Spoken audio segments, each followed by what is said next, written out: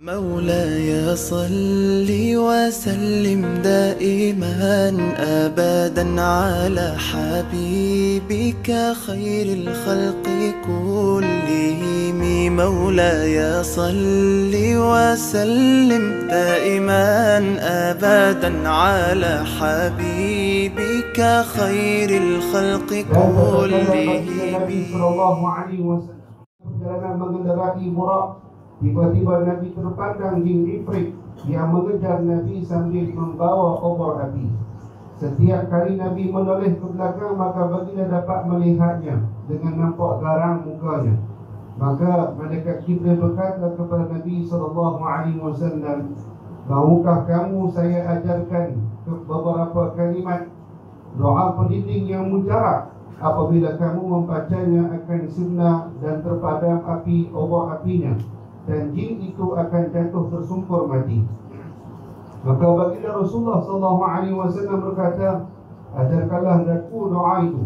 Jibril berkata, "Bacalah A'udzu bi wajhi Allahil karim wa bi kalimatillahi tammati allati la yujawizuhunna barrun wa la fajir min syarri ma yanzilu minas sama' wa min syarri ma ya'rudu fiha wa min syarri ma zara'a fil ardh ومن شر ما يخرج منها ومن فتن الليل والنهار ومن طوارق الليل والنهار إلا طارق يطرق بخير يا رحمن Artinya aku berlindung dengan zat Allah yang maha mulia dan dengan kalimat Allah yang sempurna yang tidak mampu menandingi kalimat itu oleh orang yang baik dan tidak juga orang yang jahat. Aku berlindung dari kejahatan yang turun dari langit dan dari kejahatan yang naik kepadanya.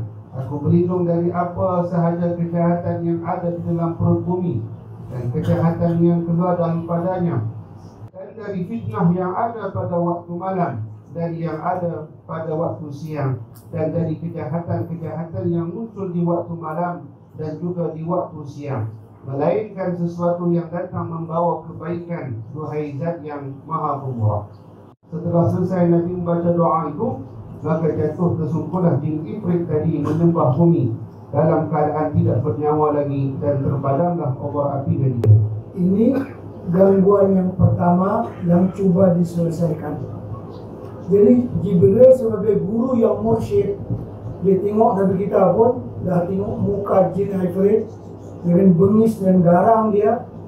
Ya Jibril menawarkan wahai Muhammad hendaklah engkau aku ajarkan suatu doa doa ini mujarab sungguh.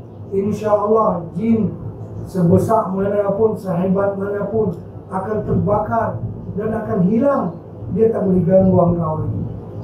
Lepas kita baca doa tu hilang. Jin tu tersungkur apa namanya? Mati. Jadi doa ini dipanggil Ruqyah Jibril. Ini biasa orang yang nak menjampi orang Ruqyah Jibril ini kan hafal lah terutama orang yang kena rasuk orang yang kena rasuk insyaAllah baca Ruqyah Jibril dia akan hilang. Dia akan lari lah akan keluar makhluk jin yang cuba masuk ke dalam orang yang kena rasuk dan berbagai-bagai apa gangguan yang lain-lain lagi. InsyaAllah dibaca Ruqyah Jibril ini sangat ampuh, sangat mampu untuk menolakkan makhluk-makhluk yang halus. مولاي صل وسلم دائما ابدا على حبيبك خير الخلق كلهم. مولاي صل وسلم دائما ابدا على حبيبك خير الخلق كلهم.